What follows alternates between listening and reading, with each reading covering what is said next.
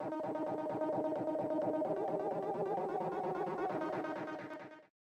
everyone, Assalamualaikum. Welcome back to my channel. During this PKP period, I've read two Ramli Awam Murshid's book, Saifuddin Jalis and Haura. That's um, dua buku yang paling latest. I just want to talk about Ramli Awam Murshid today, okay? He's famously known for penulis novel thriller nombor satu di Malaysia. Thriller Ramli Awam Murshid ni dia terbahagi kepada dua, iaitu real, real world and also traditional slash fantasy. Real world tu adalah novel-novel macam Fiction 302, Mandatory. Tapi, I think this is uh, his favourite genre iaitu traditional slash fantasy. Sebabnya banyak gila buku beliau yang terlalu fantasy yang terlalu tak boleh diterimakan lah macam tu lah. Okay, siri Sunan tu banyak gila nak dekat 10 buku dah aku rasa. Ramli Omar Syed tak pernah keputusan idea dan ilham untuk watak laksamana sunan sahaja and also at the same time dia create another banyak lagi watak-watak lain dekat novel-novel lain so aku rasa he was really blessed with ilham yang baik ilham yang banyak he is known as uh, penulis novel genre thriller tapi kalau kita baca semua buku beliau sebenarnya uh, banyak unsur-unsur dan juga nilai-nilai keagamaan yang diselitkan. Kita tak perlu meletakkan label pada diri kita, oh, aku nak jadi pendakwah, so aku kena tulis buku-buku agama. Aku kena dipanggil ustaz dulu, aku kena balik dari Mesir, whatsoever. No, not necessarily. Okay, so that's one of the things that I really love about Rami Al-Murshid because Islamic values in his novels are really, really good. He loves plot twists he really loves plot twist you know dia macam saja tau bagi layer pertama plot twist yang kita boleh agak lah macam oh dia ni jahat sebenarnya boleh agak ni kan tapi dia akan bagi another plot twist yang kita macam tak sangka and time tu yang kita macam mind blown tau bila baca buku dia aku paling suka gila buku Kashaf Ain buku under his own publishing company aku suka gila buku tu sebab aku rasa macam what the heck is happening? Mind blown teruk weh. And I would recommend it to everyone. Ungu Kamila tu, sepanjang cerita kita ingat hantu eh. Kita ingat cerita hantu. But at the end of it, actually it's really ilmiah. It's really scientific, you know. It's really entertaining for my brain. Penggunaan bahasa Ramli or Mushid adalah sangat baik. Uh, kalau kita nak belajar bahasa yang betul bahasa yang proper lah bahasa Melayu yang proper kita boleh baca buku Ramli Om Mursyid beliau juga merupakan orang Sabah berasal dari Sabah jadi banyak perkataan-perkataan yang kita pernah dengar and dimasukkan and dari situ kita boleh belajar benda baru juga sebenarnya sebab perkataan-perkataan yang tak familiar tu beliau akan italickan and then dekat belakang dekat glossary ada maksud perkataan tu. So, it's easy for us to refer back and then to understand the story better. Aku start baca buku Ramli Al-Murshid ni since I was in form 2.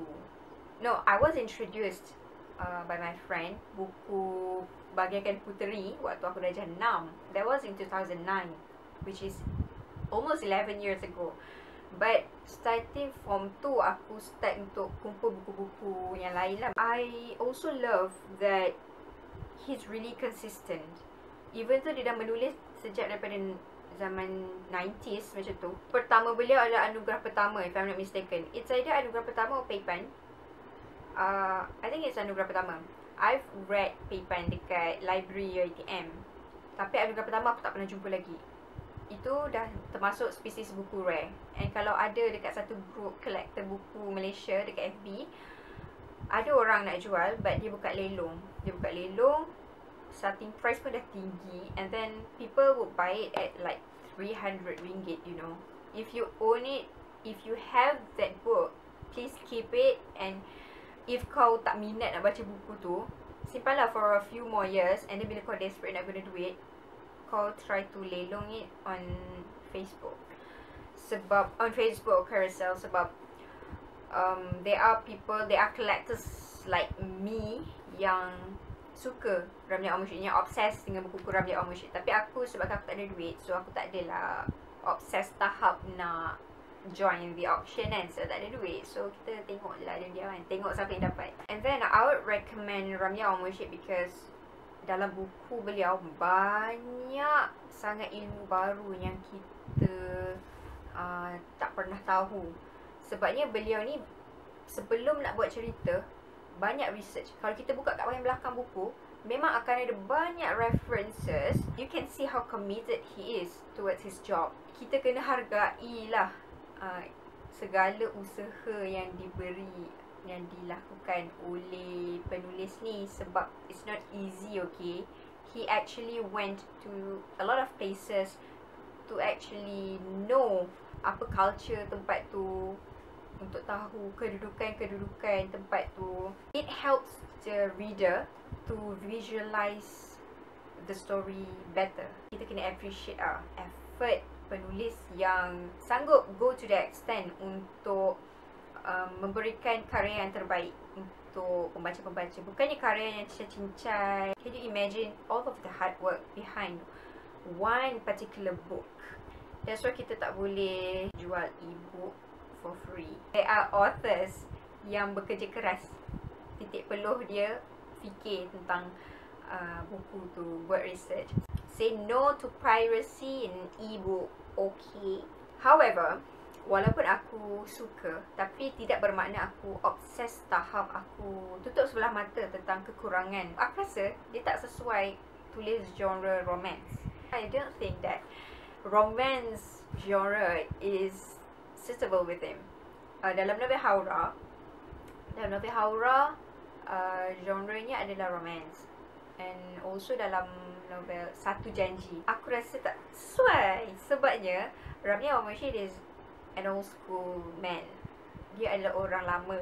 Bahasa-bahasa lama. Gaya bahasa dia lama. Jadi cara budak sekarang bercinta Kalau menggunakan gaya bahasa Ramya Wamashid yang very proper Very bahasa Melayu It's a bit awkward and not relatable That's my personal opinion lah. Disclaimer, personal opinion. Uh, beliau suka ada dua plot. Maksudnya ada, contohnya ada dua keluarga. Keluarga A dan keluarga B. And then, rupa-rupanya keluarga A dan keluarga B ni, dia related. Dia ada kisah yang intertwined. Dia punya build up plot tu, nak sampai ke pertemuan tu, dia punya meeting point tu very slow. Banyak buku beliau yang aku baca lambat. Sebab apa lambat? Bukan sebab tak menarik tau Tapi sebab slow sangat. Aku macam lambat Tapi bila dah sampai dia punya meeting point Dah sampai dia punya climax Laju je habis weh. So aku rasa dia punya build up plot tu agak slow lah But other than that Deba Overall he's a really uh, living legend. Then I think I would feel really sad If he decided to berhenti menulis Ataupun if he passed away someday. Uh, lastly, iklan. uh, aku banyak buat pre-order buku daripada Ram FC Store dekat FB. Kalau beli pre-order dekat Ram FC Store, kita akan dapat banyak benefit lah. Dalam benefit pun banyak merchandise. Kadang-kadang dapat fridge magnet, dapat coaster. And also setiap pre-order tu ada signature. Pre-order lah daripada Ram FC Store. Okay uh, harganya a bit mahal lah daripada yang jual kat kedai. Tapi berbaloi lah. And kalau publishing company beliau iaitu Ram Typewriter, um, buku-buku tu memang tak akan masuk kat kedai buku biasalah jual dekat Ram FC store je. Yeah, I think that's all for today's video. I hope you guys like it and till we meet again. Bye!